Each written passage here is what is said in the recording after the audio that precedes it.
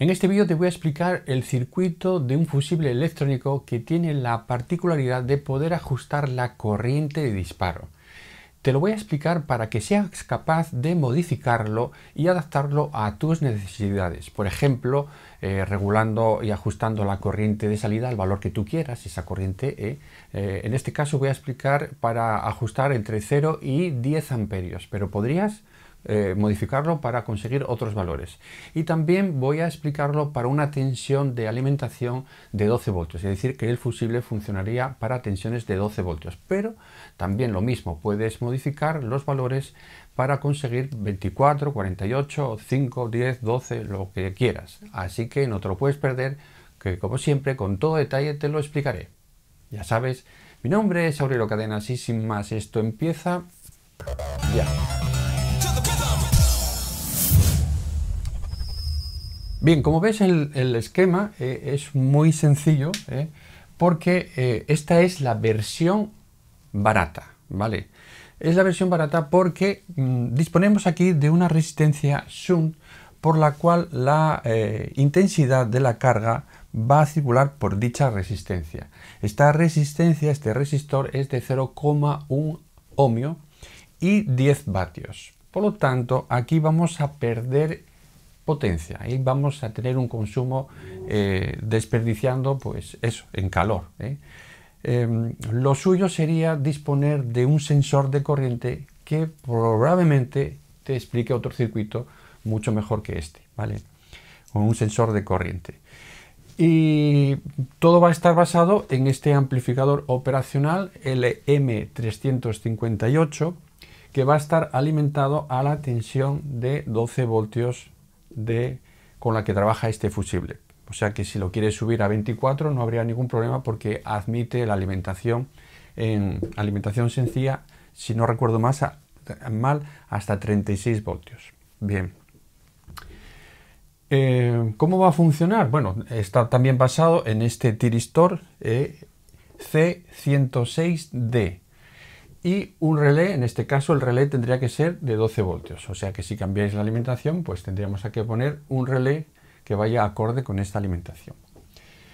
Y nada, básicamente el circuito va a ser así de sencillo. Mira, mm, lo que hacemos es que cuando la corriente que queramos medir circula por esta resistencia, ¿vale? Aquí va a producirse una tensión, ¿vale? Un voltaje que va a ser el producto de la intensidad que está circulando por la carga, ¿vale? La corriente por la carga multiplicado por la resistencia de 0,1 ohmios. Es decir, que si la corriente puede ser hasta 10 amperios, aquí la tensión máxima que vamos a tener va a ser de 10 por 0,1, es decir, de 1 voltio como máximo, ¿vale? Esta sería la tensión máxima en esa resistencia shunt. Bien, fíjate que esta tensión que tengo en este punto ¿eh? es la tensión que voy a tener aquí, a la entrada, a la entrada no inversora de este amplificador operacional. O sea que entre este punto y masa vamos a tener como mucho, como mucho, un voltio. ¿Vale? Como mucho. Y en esta, en el cursor de este potenciómetro de 3K3, ¿qué vamos a tener? Bien, pues fíjate que en este punto, en el punto A, ¿qué tensión vamos a tener? Vamos a tener una tensión fija que va a venir determinada por este divisor de tensión. ¿Cómo se calcula eso? Muy sencillo. Ya te expliqué cómo eh, trabajar con los divisores de tensión, ¿vale? Entonces, la tensión en A sería la tensión total que se va a repartir, que sería en este caso 12 voltios, multiplicado por la resistencia en la cual quiero calcular la tensión, 3,3, y dividido de la suma de las dos resistencias, 36,3 más 3,3. Lo estoy poniendo todo en kiloohmios, así que no va a haber ningún problema.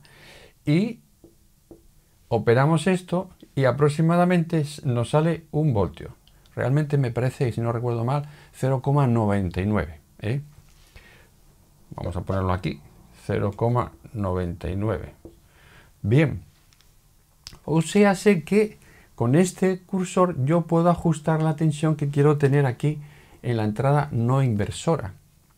Si yo quiero disparar este fusible, es decir, si yo quiero que corte la alimentación de la carga cuando circule por la carga 5 amperios, lo que voy a hacer aquí es ajustar este cursor para que aquí haya 0,5 voltios.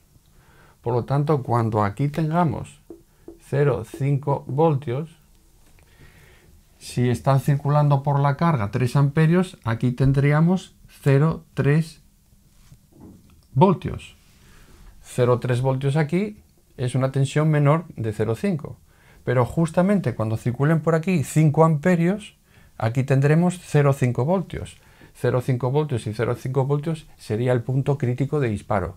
Un poquitín más que circule la corriente por la salida, por la carga, tendríamos aquí un poco más de una tensión mayor de 0,5 de 0,5 voltios y automáticamente el, el amplificador operacional satura a la tensión alta. Entonces, si la tensión aquí tenemos un valor alto, porque hasta entonces teníamos más tensión aquí que aquí, más tensión en la negativa que en la positiva, tenemos una saturación baja, ¿vale?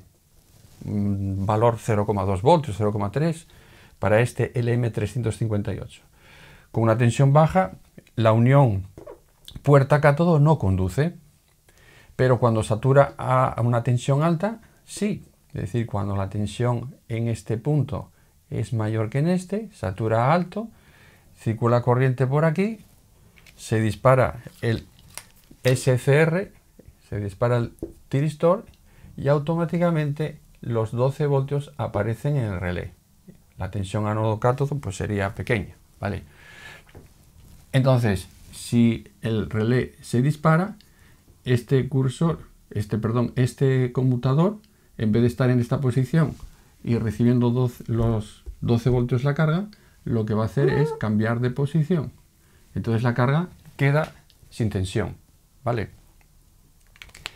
¿Qué tendríamos que hacer?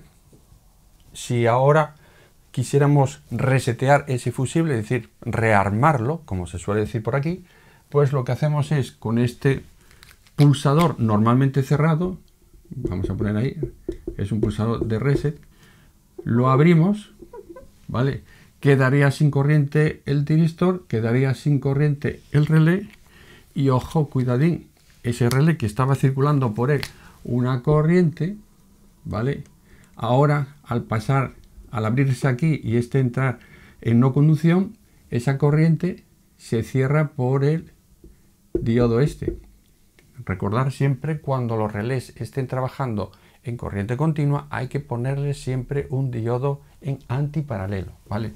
Para que esa energía, esa corriente que almacenó esa bobina, siga circulando, se anule y no tengamos un pico de tensión en extremos de esa bobina que nos pueda perjudicar a los demás componentes. ¿vale? ¿Qué hacemos? Que el relé se desactiva y automáticamente al soltar otra vez el pulsador y pasar este a cerrado, el tiristor sigue eh, al corte porque ahora la corriente por la carga tendría que ser menor de esos 5 amperios para que no se me vuelva otra vez a disparar el, SCR. Es decir, que si se mantiene esa corriente por la carga, seguiría otra vez disparándose, ¿vale? Así sencillo es como funciona este circuito. Y lo dicho, si quisiéramos elevar esta tensión a 24 voltios, por ejemplo, o poner 9 voltios o otra tensión, tiene siempre que calcular estas resistencias, ¿vale? Estos valores para tener aquí en el punto A ¿eh? en, este, en este punto un voltio, porque así es como queremos limitar la corriente a 10 amperios, ¿vale? ¿Que quieres eh, aumentar la corriente a un valor mayor? Pues tienes que tener en cuenta que aquí vas a tener una tensión mayor. Imagínate, quieres 20 mm, amperios, 20 amperios. 20 amperios por aquí, por este tendríamos aquí 2 voltios. Entonces lo que tienes que conseguir es que en este punto A sean 2 voltios. En la fórmula base pones aquí 2 voltios. Eh, esta resistencia, esta resistencia la calculas, dejas esta de 3K3, esta resistencia la calculas y obtienes ahí el valor de esa resistencia. ¿vale? Si aquí ponemos eh, esa tensión distinta, pues siempre recuerda que tienes que poner aquí el LED, el LED, sí, el relé eh, de esa tensión, ¿vale? El diodo LED con 12 voltios ponemos un K porque eh, por aquí 12 voltios partido de un K o bueno, 12 menos 2 voltios del LED. Aquí tendríamos 10 voltios, más o menos, más o menos. 10 miliamperios por el LED. ¿Que esto lo elevas a 24 voltios? Pues tendrías que poner esto 2K o 1,5K. ¿eh? Eso ya depende de la corriente que quieras por el LED.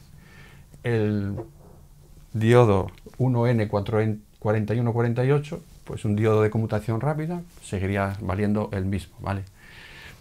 Y el SCR, pues lo mismo, eh, nos sirve porque la corriente por aquí suele ser pequeña. También en vez de poner el, interruptor ahí, ese pulsador ahí, también se podría optar por ponerlo aquí, ¿vale? Ponerlo ahí. Y tendría que ser normalmente abierto, ¿eh? tendría que ser un pulsador normalmente abierto. De tal manera que cuando queramos rearmarlo, lo que hago es cerrar por aquí, la corriente va a circular por el interruptor, no va a circular por el tiristor, el tiristor se apaga y al abrirse aquí pues el tiristor sigue apagado, ¿vale? Así de sencillo. Pues no me queda nada más. Un vídeo corto, un vídeo sencillo, un circuito sencillo, pero útil te puede ser. Y repito que se puede mejorar mucho cambiando esto por un sensor de corriente. Sensor de corriente continua, ¿eh? cuidado. Así que probablemente te lo explique en otro momento Espero que hayas disfrutado, que te haya gustado. Si te gusta, no te cuesta ningún trabajo dar por ahí un like a la manita. Y eso es todo, eso es todo amigos.